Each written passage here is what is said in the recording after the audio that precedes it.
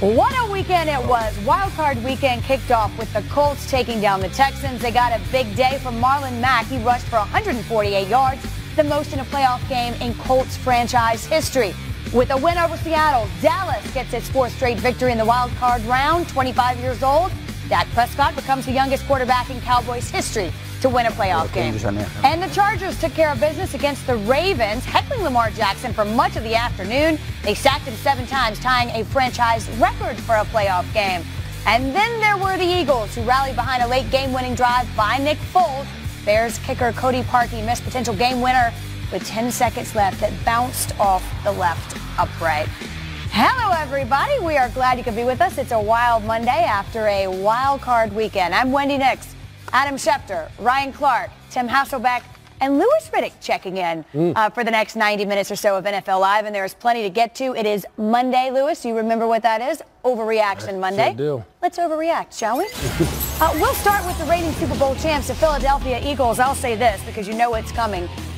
The team, the Eagles, should keep Nick Foles. Ryan Clark, I'll start with you. Is this an overreaction. This is an overreaction, and it's, it's the best kind, right? It's the Monday morning quarterback kind because we start to think, oh my goodness, Nick Foles he does something different for this team. This team plays better with him. They've been on two runs in the last two seasons, late on, later on in these seasons, on to the Super Bowl with Nick Foles. But Carson Wentz is the quarterback of the future. It's the reason you gave up so much to draft him number two overall. And we've seen the talent. We've seen this guy be on an MVP pace before an injury last year. And Carson Wentz is going to be this team's quarterback going forward. The, the thing is, you have to get rid of Nick Foles. You need Nick Foles out of the building.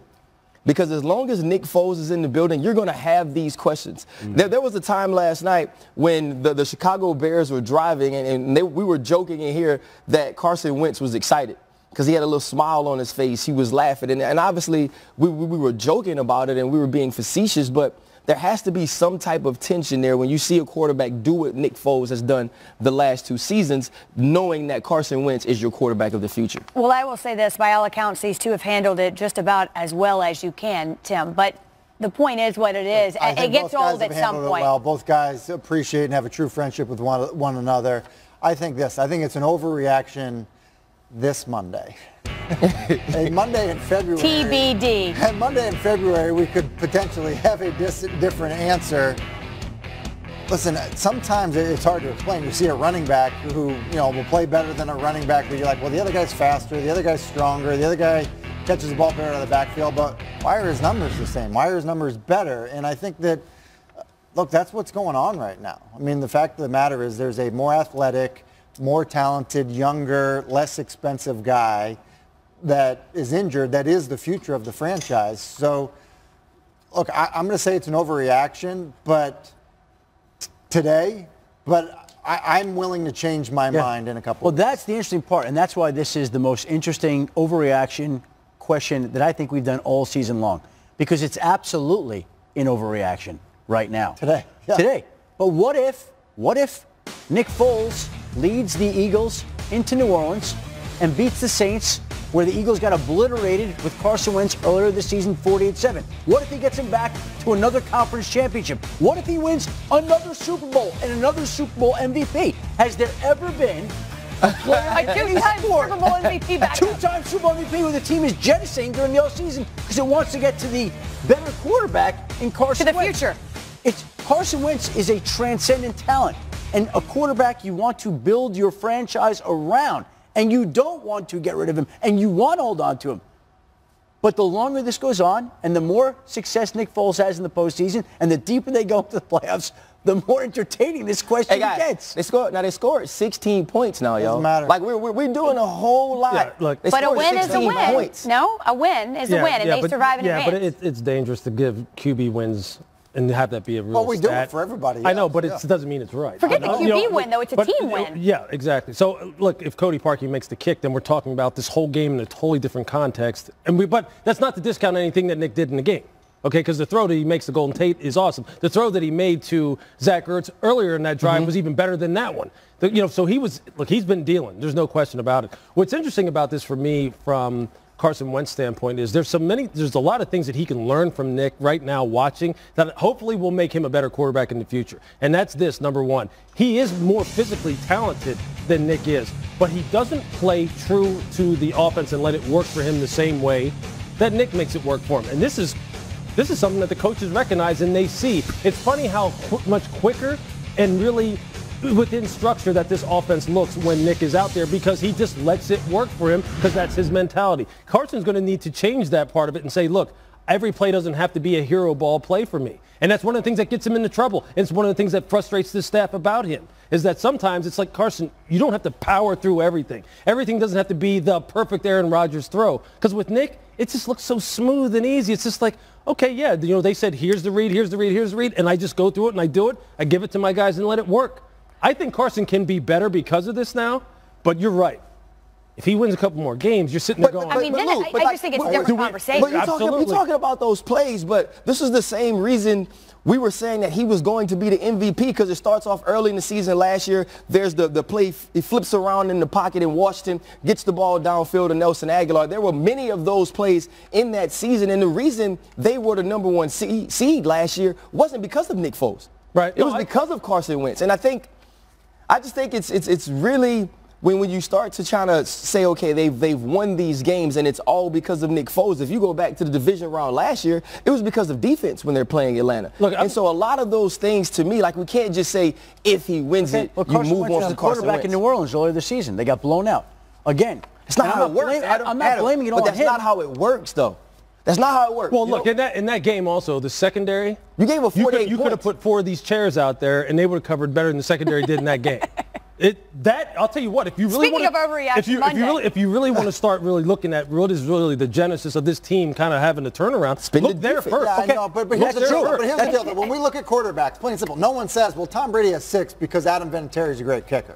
Okay? Nobody says that. Nobody says t- uh, Peyton Manning should have two if Hank Baskett can recover an But- onside but you- kick. but- but- but when you're- but when you're- like but when you're valuing- comes down to winning. It's not. but when you're listen, valuing the, the position- doesn't always win the Right, game. I understand that. But the reality is, is that's how That- everyone views that's the way we and so the rank front them. office. Right, that's what we're I- talking- I understand. I That's not how you pick your understand that. guy. But listen, you, the Philadelphia Eagles and Howie Roseman, those guys are going to have a real tough decision. Okay, but I, I, know I know what you're saying, Bowl, but but it, like, on the about- inside, uh, listen, I when you're it. making that decision, And so, you I- can't just go, well, quarterback wins is what matters, and it doesn't matter how No, else we but the quarterback. wins. Listen, the quarterback responding in the A most team. crucial moments. But but the quarter the team wins and loses the game, not just one quarterback. But the quarterback when he converts on fourth and one down in tight in that moment, and then does it Oh, he- again he in another gets- pressure sure. packed moment. You go, listen, yeah, maybe he'll throw 19 interceptions next year during the regular season. But we know that this guy, in the biggest moment on the biggest stage that exists in this sport, can deliver. Sure. You don't listen. As good as Carson Wentz is, you don't know that yet. Let, let- let me make a very That's simple true. question. Why has this team, why has this team responded the way it has and reeled off four straight wins? And why has it played great winning football with Nick Foles? I, I, again, I think Carson Wentz is a transcendent. But explain this to me. This, this, this, is how I explained it when he played the first week, right? When, when you come into the locker room you start talking about the different things that you have to do with Nick Foles, it's, it's, it's preached around the locker room. Defense, we got to pick up the pressure. Secondary, we can't give up the big plays. Doug Pederson understands we're going to have to try to run the ball, and you've seen the running attack down the stretch become a bigger part of this offense because they understand with Nick Foles, you can't expect him to bail you out all the time. And after you've watched Carson Wentz bail you out week after week, make play outside the pocket week after week, use his legs, use his grit, use his toughness, use his talent, you start to rely on those things. The defense is a totally different defense than it was when Carson Wentz was playing. And I on believe top you of the step fact that there's just been some natural evolution on that side of the ball too, and they've gotten better. Right, You're Devontae right. You're right. gotten You're better. right. And, and you know, but I mean, you, you make you make a great point. It's funny how everyone else kind of raises their game when they feel as though the backup needs more help, as opposed to sometimes you go, well, if Carson's out here, he's just going to make a play for us anyway. He's just going to. And you're right, that mindset is tricky. It, it's funny how it can work on a, Yeah. on a football team. Long, long story short, What a good problem to have. today. Overreaction. This was this was perfect. I'll say this: we make fun of Nick Foles because an excited Nick Foles and an upset Nick Foles, All the the margin same guy. of difference are, is, is very Yeah. minimal. But you know what? That has served him well, and we Mm-hmm. have seen him respond in these big situations. Uh, Look, that's why he's there. That's why they kept him in the first place. We move on to the Bears. They are having different conversations today. And to your point, Louis, this could have been a very different conversation, but it isn't. Mm-hmm. So I'll say this on this Overreaction Monday. The Bears were the biggest disappointment of Wild Card Weekend. Louis, is that an overreaction? No, it's not an overreaction for me. Uh, Yeah, It's the biggest disappointment of the season. Look, this game was so uneven in many different ways. If you just look, if you start looking at certain situational t- statistics that usually will tell you whether a team won or lost, they hit some of them that, that would make you believe they won the game, and then other otherwise you can see why they, they lost it. Look, they create two turnovers. They have two interceptions. Okay, that's a plus. You hold the Eagles to under two yards rushing per, uh, per carry, and you keep them like under 50 yards rushing total. That sounds like that's a way that that's the formula for winning. But they're 0 for 3 in the red area. They're 0 for 3 in the red, eh, red area, and Philadelphia is 2 for 3 in the red area. That's a problem right there. Right there, you, you can see how the game starts to switch. And in that last drive, five minutes ago, four minutes, 58 seconds ago, you started to see what the difference was with Eddie Jackson not in the game. The secondary wasn't communicating. They weren't matching patterns very quickly. Sherrick McManis started getting victimized. And then down there on the goal line, a couple big plays, the safeties weren't matching real quick. Sherrick McManis on the touchdown pass isn't sitting outside leverage on Golden Tate when he's got a safety sitting inside. And even before that, they're not communicating. You can tell they were confused a little bit when they came out with, with essentially a four by one set. They had tripped with the back offset to the trips, and you could tell they were looking at each other like, how do we match this up? And you're going, this is the best defense in the NFL, and they looked a little bit lost on that game-winning drive, and that was disappointing. I'm sitting there going, and all that being said, a kick, one kick, Correct. and you're going back into the meeting room and you're just correcting things and getting ready for the next game. Instead of what's planning for the next year. That's what's killer about the playoffs. It's so sudden death like that. Uh, to me, it's an overreaction. I believe that the Texans lost at home too. And I believe the Baltimore Ravens also lost at home. And I believe on this very show and many other shows, everybody was talking about how the Ravens are going to be the toughest out in the playoffs. Nobody wanted to play the Baltimore Ravens except the Los Angeles Chargers, who traveled west, played an early game on Sunday, and wound up beating the Baltimore Ravens. So to me, the Bears were a big disappointment, but so were the Ravens. And so to a lesser extent were the Texans. But I'm not going to give the Bears the title of the biggest disappointment of I, wild card I picked the Chargers, so I'll go ahead and say that, that not an. You're Not smart guy. overreaction. No, I mean, look, I agree with Lou. I mean, I think when you look at what we were kind of talking about with that defense, I mean, we think a lot of people were saying like, look, with this defense, this is in terms of creating turnovers, in terms of scoring defense, in terms of kind of putting the fear, you know, on the offense because of what they can do in terms of rushing the passer. To have a game at home, have the benefit of crowd noise to aid that defense, facing a backup quarterback to not come away with a win, even though you know there were moments where they played well. And honestly, to in in a game where um, you know Mitchell Trubisky in his first playoff game throws for over 300 yards, to not come away with a win to me is a huge disappointment. Absolutely. You know, I I think it's an over it's an overreaction for me in the sense that you're disappointed that the Bears didn't win. And you you know, and you said a, a backup quarterback.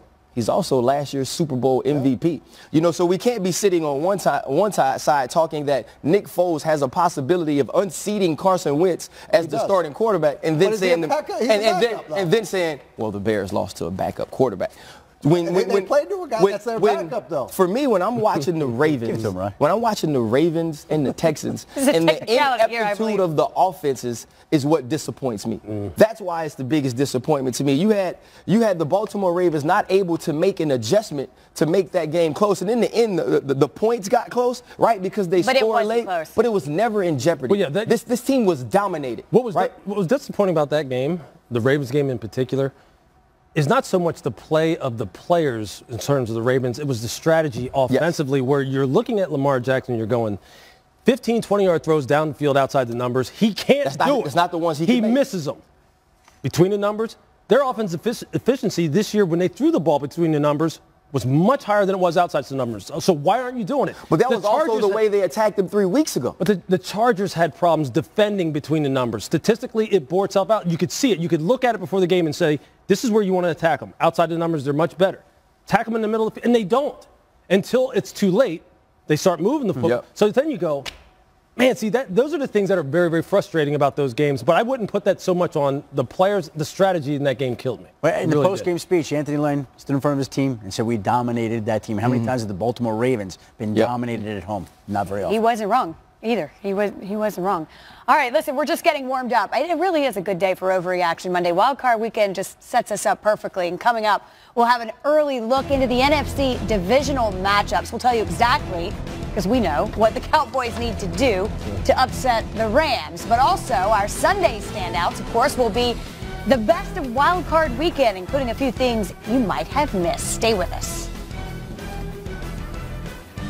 ¡No! ¡Falló! ¡No, señor! ¡No, señor! ¡No, señor! ¡Los Eagles se van con la victoria! ¡Se acabó! ¡Se acabó! ¡Nos vamos para New Orleans!